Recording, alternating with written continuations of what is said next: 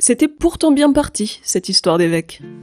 À la fin de l'Antiquité, l'importance de Die en tant que capitale des Gaulois Vaucons la désignait assez naturellement comme siège d'un évêché.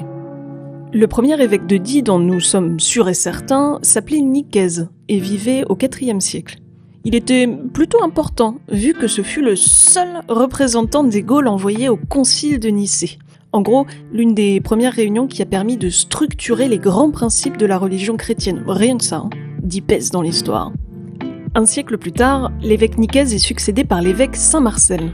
Si vous habitez le Diwa, son nom doit vous être familier. Il a été donné à beaucoup d'églises, de rues ou de places. La légende lui prête une vie de miracle, si bien qu'il fut canonisé et devint très populaire dans la région.